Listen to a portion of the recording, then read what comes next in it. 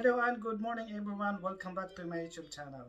Ayun, medyo naging busy ako for the past 3 week kaya hindi ako nagkaroon ng time para magkaroon ng content. So maraming nangyari kaya naging busy ako.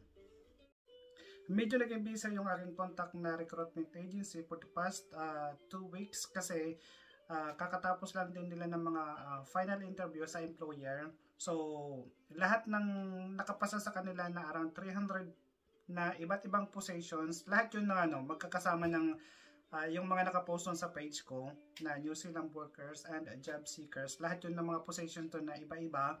So around 300 plus yun. So tinapos pa nila yung mga job offer na uh, maibigay yun sa lahat ng mga applicants na mga nakapasa. Ngayon, bali, um, humihingi sila mga karagdagan na position pero dadalawa lang. Uh, yung carpenter at saka yung hammer hand. Um, task included for carpenters studying plans, drawings, and specification to determine materials required, dimension and installation procedure. Taking accurate measurement and calculations to determine the size and materials needed for the project.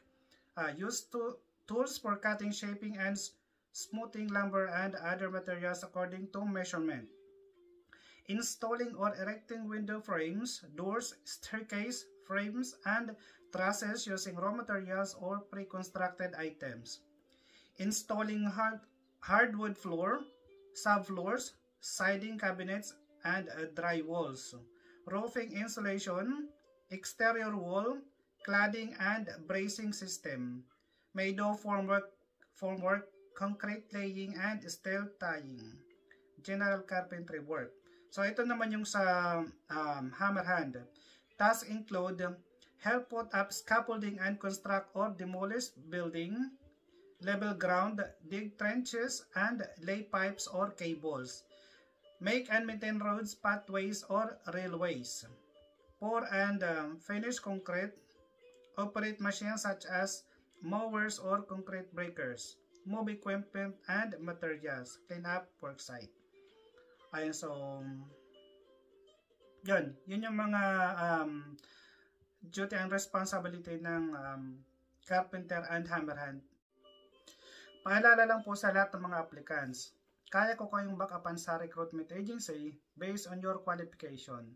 Kasi kahit na ano naman na gusto kong tulungan kayo na makapasa sa agency, kung hindi nyo naman mamimit yung kanilang hinihingi ng mga uh, qualification is wala talaga akong magagawa doon. At pagdating naman sa final interview sa employer, wala na talaga akong magagawa doon hindi ko na kontrolado yon So, uh, sa final interview, nandun yung staff ng agency at saka yung um, representative ng company. So, hindi ko na kontrolado yun. Um, kanya-kanya na talaga kayo mga, na mga applicant ng uh, may sasagot. Pero, uh, as much as possible, nagbibigay ako ng mga tips. Tapos yung mga reference ko nun is yung mga nauna na, na, na final interview na nakapasa na. So, depende rin yun kasi iba-iba naman yung um, pamamaraan ng pag-interview ng kanya-kanyang mga company or depende sa uh, kung anong sector ng company ang ina-applyan nyo. Kung ikaw ay isang employee, kailangan mo ng work experience as carpenter or hammer hand with SSS contribution at kung ikaw naman ay contractor, kailangan mo ng mga permits katulad ng Mayor's Permit, DTI, and BIR. Ayon, ang malaking tanong, nag-qualify ka nga ba dito? Kung hindi, Baka meron kang kamag-anak, kaibigan, o mga kakilala na pwede dito sa posisyon na to. Siyempre, mas mahalaga pa rin talaga na nakakatulong tayo sa ating kapwa. Okay, so hanggang dito na lang muna yung aking video. At kung bago ka pa lang, please don't forget to subscribe, like and share, at click mo na rin yung notification bell para sa susunod na mag-upload ako ay manonotify ka.